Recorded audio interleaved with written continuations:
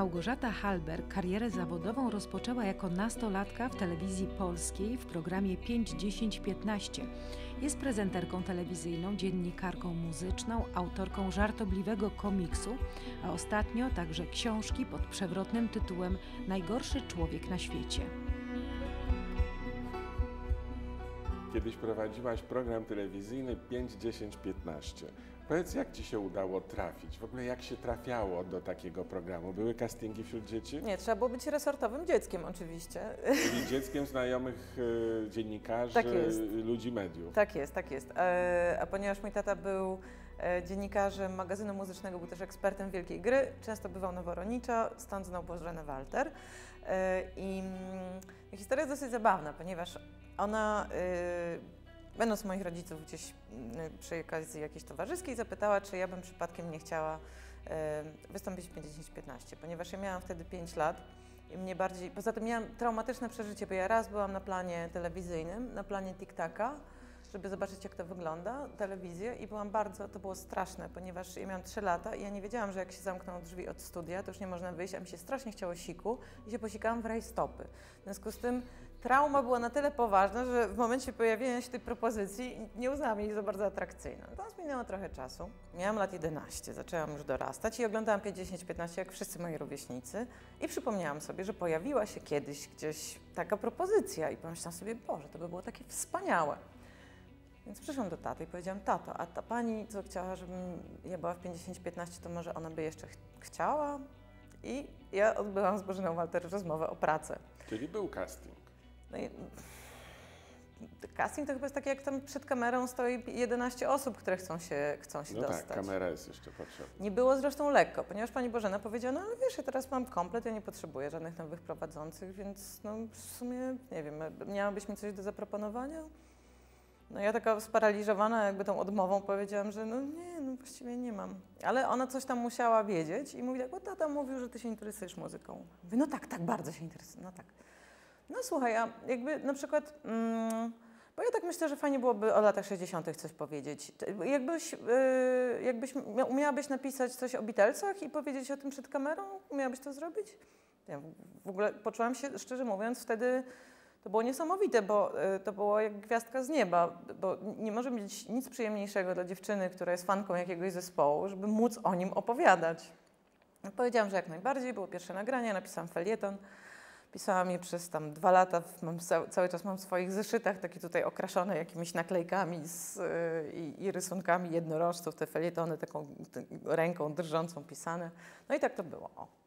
Ale jak już zaczęłaś występować w telewizji, to pewnie twoje notowania w klasie, w szkole natychmiast poszybowały w górę. Nie, wprost przeciwnie, bardzo spadły. Dlaczego? Em, Ja uważam, że ja- w ogóle mam z telewizją taki problem, że ja bardzo lubię to robić, bo ja lubię występować przed kamerą i lubię przed nią mówić. Natomiast jakby skutek uboczny, jakim jest, y, nie nazwałabym tego popularność, ale raczej pewnego rodzaju Rozpoznawalność. rozpoznawalność może tak, zawsze był dla mnie bardzo trudny i męczący, ponieważ ja się nie czułam człowiekiem, który jest rozpoznawany za to, jakby kim jest, tylko właśnie to takie odium bycia z telewizji gdzieś zawsze nade mną wisiało, co było tyle trudne, że je- jednak telewizja ma pewnego rodzaju wymogi estetyczne. Ja zdecydowanie nie tylko ich nie spełniam, ale też nawet ym, jestem jakby przeciwko nim tak naprawdę, bo ja bardzo cenię rzeczy, które są takie brudne, które są jakieś takie śmieci, jakieś takie niedorobione. I i no, to było dla mnie bardzo ciężkie, że ja nie jestem jakby, ja nie jestem sobą. E, także przez wiele lat w ogóle myślałam, że nie mogę znaleźć chłopaka, dlatego że jestem z telewizji tak naprawdę, bo to po prostu zawsze stwarzało jakąś taką barierę. Ja strasznie cierpiałam z tego powodu i jedynym sposobem na to, żeby jakoś wyjść z tego, jednak jestem osobą e, no, taką bardzo wrażliwą, taką bardzo, ja myślę, że w innym życiu pewnie bym skończyła ASP i pewnie bym robiła sztukę po prostu. E, jedynym sposobem na to, żeby jakoś z tego wybrnąć było pisanie listów, bo wtedy mogłam być sobą i nikt nie wiedział, kim ja jestem tak naprawdę, więc prowadziłam przez całą szkołę średnią bardzo ożywioną korespondencję na podstawie ogłoszeń e, z Filipinki. Także to tak z tymi notowaniami było. A wtedy trafiłaś pierwszy raz do psychologa? W szkole średniej, tak, tak, w szkole średniej zdecydowanie. Dlaczego? Bo tak mi się wydawało, że no, ktoś taki jak ty to właściwie powinien być radosnym, szczęśliwym człowiekiem, który ma dostęp do tego, o czym inni marzą.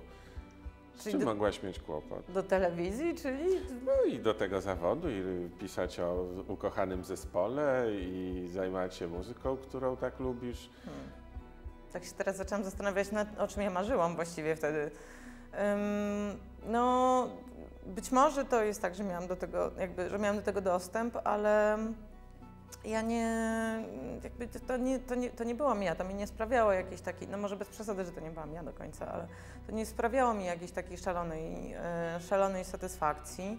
E, ja się czułam bardzo samotna e, i taka bardzo nie wiedząca, co się ze mną dzieje tak naprawdę. Ja nie rozumiałam swoich emocji, ja nie rozumiałam tego właśnie, jakiegoś takiego dysonansu chyba tak naprawdę właśnie między, kim, mię- między tym, co ja czuję kim ja jestem, a tym, w jaki sposób jestem postrzegana. Więc myślę, że to z tego powodu. Chociaż mm, no nie wiem, ja, ja zawsze myślę sobie tak, że ja po prostu jestem osobą taką ultra wrażliwą, taką z takim poziomem wrażliwości 120 i, i, i może to z tego powodu też tak naprawdę trafiłam do tego psychologa. A jak potem sobie wymyśliłaś, że pójdziesz na filozofię, to trochę po to, żeby uzyskać dystans do wszystkiego i i lepiej sobie radzić z y, manipulowaniem intelektualnym całym światem.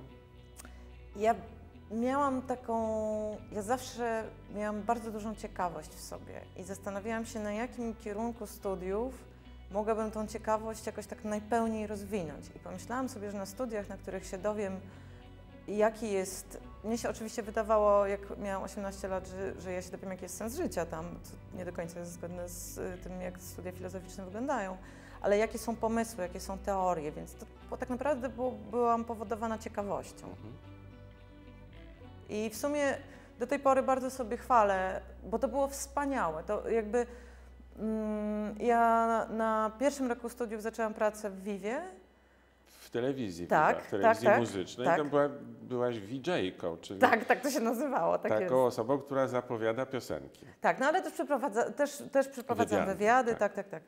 Em, to było absolutnie wspaniałe, bo ja y, operowałam na dwóch skrajnych krzywej Gaussa. Z jednej strony byli tam studenci filozofii, którzy y, pod wieloma względami ym, nie, były, nie byli osobami, z którymi mogłabym się utożsamiać ze względu na, na takie przegięcie intelektualne tak naprawdę. I pamiętam jak gdzieś, jak wychodziłam z czytelni po czytaniu tekstu ontologicznego Quina i już bolała mnie głowa, bo myślałam, że przeczytam go w 15 minut, bo miał cztery strony. Okazało się, że żeby go zrozumieć i przeczytać potrzebowałabym tygodnia. I na korytarzu siedziało dwóch mężczyzn w wieku 21 lat, którzy mówili, no wiesz, ale idea nie zawsze musi być idealna. I po prostu myślałam sobie, nie, zwariuję zaraz. I z drugiej strony miałam równowagę właśnie tego świata, w którym, który był absolutnie najodleglejszym miejscem w stosunku do filozofii.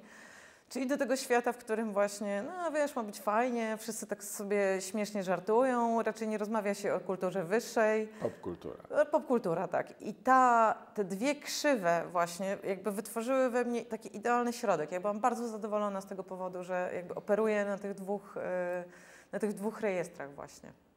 No i teraz dochodzimy do tego, co może się y, y, y, gdzieś na środku tej krzywej, jeśli, jeśli rozrzut jest tak wielki, wydarzyć, bo y, wydałaś właśnie książkę Najgorszy człowiek na świecie i to jest książka y, opowiadająca o tobie, opowiadająca w dużej mierze twoje doświadczenia.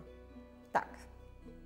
A w każdym razie na pewno punkt wyjścia tej książki jest Ci bliski, bo on mówi o dziewczynie, która sobie nie radzi ze światem, y, nie radzi ze sobą i szuka pomocy w alkoholu Mhm. i wreszcie mu ulega. Mhm.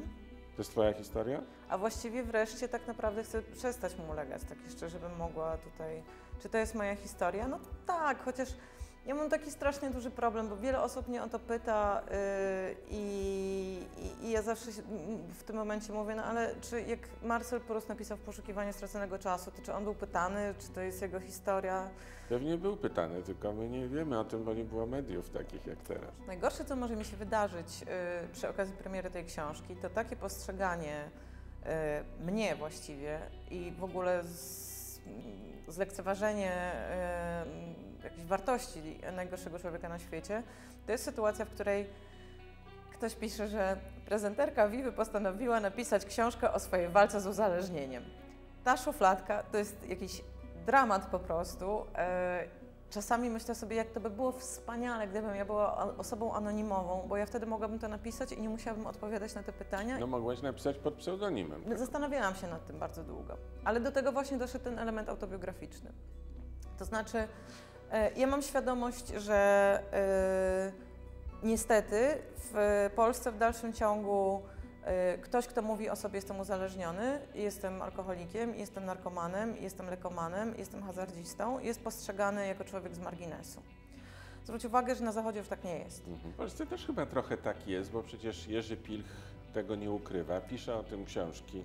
Pod mocnym aniołem jest tego przykładem. Czekam na dalsze przykłady. Książki są, książka jest filmowana, Mhm. więc jest film. E, No ale to jest silny przykład, przyznasz. Czekam na dalsze przykłady.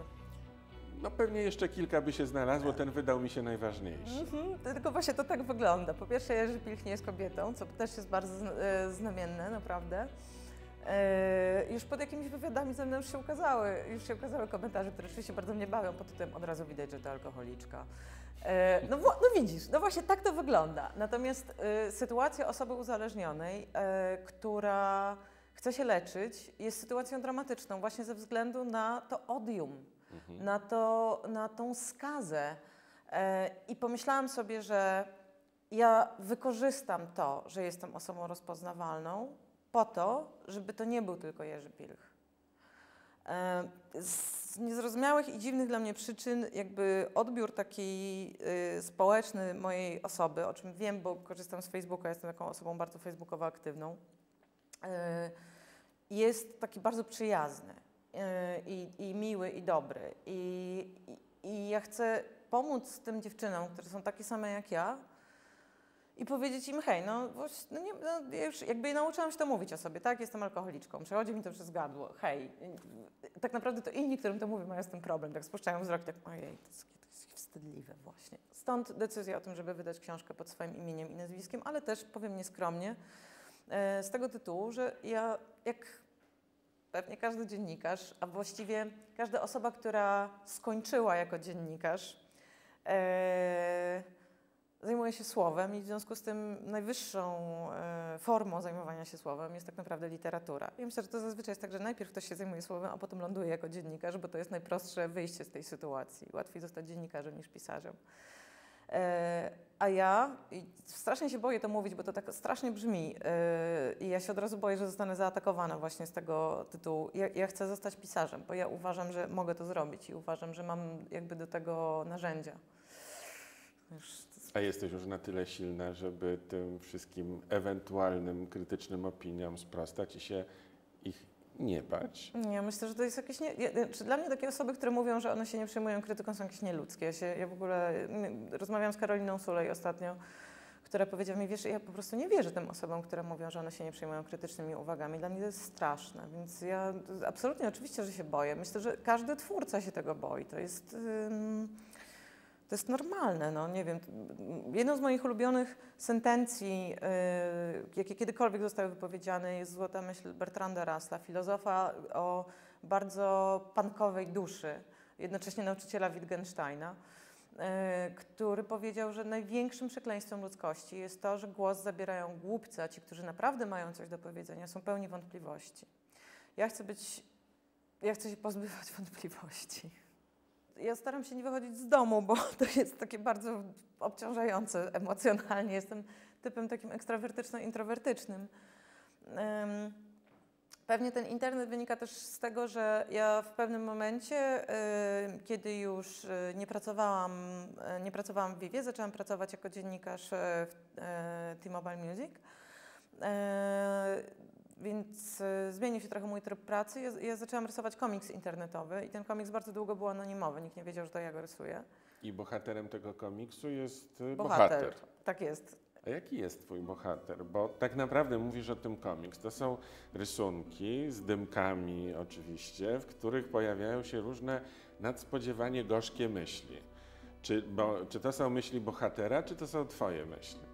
Jak go narysowałam w ogóle pierwszy raz, yy, to pomyślałam sobie, że on wygląda tak kuriozalnie, że czegokolwiek by nie powiedział, to byłoby bardzo zabawne. A jak on wygląda? O, opisz go tym, którzy nie widzieli. Bo... On wygląda jak takie skrzyżowanie kartofla, kulki kurzu i mrówkojada, bo tak naprawdę y, przyś, przyśnił mi się po tym, jak oglądałam bardzo długo taki obraz, y, najprawdopodobniej jest to obraz Goi, nie wiadomo, ale historycy sztuki tak, tak wnioskują. Jest to obraz, na którym, się, na którym został namalowany pierwszy mrówkojad, który kiedykolwiek został przywieziony do Europy. Wspaniały obraz, bardzo Państwu polecam. Wystarczy wpisać mrówkojad Goja. Oglądam go tak długo, że potem przyśniło mi się to stworzenie, którego jakby z mrówkojadem ma wspólną tą taką jakość właśnie nadspodziewaną tego nosa, który nagle wyrasta. Ludzie mają jakąś taką potrzebę kategoryzacji, żeby wiedzieć, co to jest. Ja zawsze jak rysowałam, a rysuję y, od dawna, to, to właśnie dla mnie jakby y, największą jakością sztuk wizualnych jest właśnie to, że tak trochę nie wiadomo, co to jest, że tam jest jakaś taka wartość symboliczna, z której można sobie wnioskować różne rzeczy. Mhm. Więc raczej powiedziałabym, że jest to pewnego rodzaju kartofel skrzyżowany z mrówkojadem. No, ale te myśli, które wyraża, są całkiem ludzkie. Takie w rodzaju na przykład. y, Jest tylu ludzi, którzy robią tyle super rzeczy, a ja tylko leżę i oglądam seriale. Mhm. Albo nie jestem doskonały. Nie, tam jest w ogóle tam jest chyba taki dymek, że jestem, e, jestem dokładnym zaprzeczeniem dosko doskonałości, chyba, że coś takiego. No, y, to było zabawne, bo na początku mówił różne rzeczy. Y, w momencie, w którym go zaczęłam rysować, to akurat y, był moment tuż przed euro. E, związany z niesamowitą falą krytyki oczywiście i, i takiego narzekania i ten jeden z pierwszych obrazków, jaki narysowałam, to ten bohater, który jak mówi ja się bardzo cieszę na euro, myślę, że będzie wesoło. I pomyślałam sobie, że on, że byłoby super, gdyby on mówił właśnie takie myśli, których gdzieś tam e, czuję, że nie mogę wypowiedzieć z różnych przyczyn, z rozmaitych, bo nie wypada, bo coś, ale że one właśnie gdzieś tam są i że one są takie miłe, bezbronne. I no to w, rozma- w rozmaite sposoby ewoluowało. To są takie obrazki, które komentują trochę rzeczywistość. W momencie, w którym e, zaczęła się fala takich zjawisk internetowych, e, tak zwanych flame'ów, brzydkie słowo, wolę zjawiska internetowe, to on kilka razy też komentował to, pamiętam taki rysunek, jak, jak, jak było bardzo głośno o tartej bułce z Charlotte za 8 zł. Już nikt tego nie pamięta, to była wielka sensacja i bohater wtedy mówił, że ani słowa o bułce. E, I miał taki pasek czarny na wysokości ust. Ale ostatecznie się okazało, że e, obrazki, które narysowałam, e, w momencie, w którym zaczęłam się jakoś strasznie pogarszać samopoczucie i czułam się jakaś taka bardzo bezwolna. Zresztą pierwszy obrazek, jaki narysowałam, to był obrazek, to był obrazek w którym bohater, to jest zdjęcie profilowe, obrazek, w którym bohater mówi to wszystko dlatego, że mam niską samoocenę. I to była moja myśl oczywiście jak najbardziej. Kiedy się obudziłam rano i pomyślałam sobie, kurczę, znowu tak, nie udało mi się tej akredytacji, odmówili mi znowu z radia mojego pomysłu, mój pomysł na program. Pewnie bym, I pewnie bym mogła dostać pracę albo robić coś, tylko że ja po prostu czuję, że nie mam siły przebicia i nie mam tej siły przebicia, bo po prostu mam niską samoocenę. No i to jakby to wszystko dlatego. E, I okazało się, że te myśli, które są takie najbardziej, powiedziałabym, najbardziej skrywane, takie najgłębsze i najbardziej wstydliwe, że one strasznie zarezonowały. Ilość komentarzy, które były pod rysunkami, brzmiących nie mniej, nie więcej, tylko siedzisz w mojej głowie, albo chyba jesteś mną, albo y, ona mi dała do, ona mi jakby nagle pokazała, że w tym jest siła, że w tych rzeczach, które zrobiła na mnie wrażenie moja przyjaciółka, która do mnie napisała, mówi, wiesz co, bo jak ty tak piszesz te smutne statusy na Facebooku, że sobie nie radzisz, a pisałam je zawsze jakby bardzo chętnie, to ja jakoś się tak denerwuję, ale potem jak ty to robisz w tych obrazkach bohatera, to jest takie super. Nie, nie wiem, to już jakaś taka dla- psychoanalityczna tutaj w tym momencie pojawi, mogłaby się pojawić analiza, ale, ale tak to było. Co się zmieniło, jak widzisz teraz świat, od momentu, kiedy wygrałaś z alkoholem i nie musisz sobie pomagać nim, tylko starasz się bez niego funkcjonować? Czy świat wygląda inaczej? Wygląda totalnie inaczej. Wygląda totalnie inaczej. W książce y, Najgorszy człowiek na świecie jest taki moment, w którym Krystyna, moja bohaterka, idzie do y, jednego z pierwszych terapeutów i on mówi, no musi pani przestać palić marihuanę teraz. I ona jest taka wstrząśnięta i mówi, "Ale niech mi pan powie, co ja będę miała w zamian. On nie rozumie pytania. Natomiast ja mogę jej odpowiedzieć, co jest w zamian. Zresztą też, ona też odpowiada w książce. Tak, W zamian jest coś, co jest bardzo nieprzyjemne e, dla wielu osób, a jednocześnie ma nieprawdopodobną siłę rażenia. Jest jedną z platońskich idei. W zamian jest prawda. To jest coś niesamowitego. Zobaczenie, jak rzeczywistość wygląda naprawdę, jak wyglądają kontakty międzyludzkie, jak wygląda, jak wyglądam ja sama, jaka ja jestem. E, I połączenie właśnie tej takiej postaci, która się pojawia na y, imprezach albo na tych, no, powiedzmy na spotkaniach towarzyskich, na których jest alkohol, który jest po to, żeby ludzie w ogóle mogli ze sobą rozmawiać i właśnie zobaczenie Żeby tego. się rozluźnili, Tak. żeby, żeby byli bardziej szczerzy, wylewni. Pierwsza rzecz, którą w ogóle zobaczyłam, to jest to, jak bardzo ludzie się siebie boją nawzajem. Jak bardzo się boją siebie nawzajem. Em, więc na pewno to się zmieniło. Pamiętam jedną z pierwszych rzeczy, która była dla mnie absolutnie zaskakująca, było to, że się okazało, że ja mam, ja jestem skowronkiem. Ja lubię wstawać bardzo wcześnie rano. E, I jednym z moich absolutnych idoli pod tym względem jest Henryk Starzewski, polski malarz, który miał taki cykl dobowy, że się budził o 5 rano i do 12 malował. Potem spał w ciągu dnia i potem o 17 się spotykał ze znajomymi. Mam zamiar w przyszłości prowadzić ten plan w życie przy okazji pisania następnej książki, którą już mam w głowie. Ehem. Więc to było na pewno pierwsze. Drugie, co się zmieniło, to kryteria zachwytu.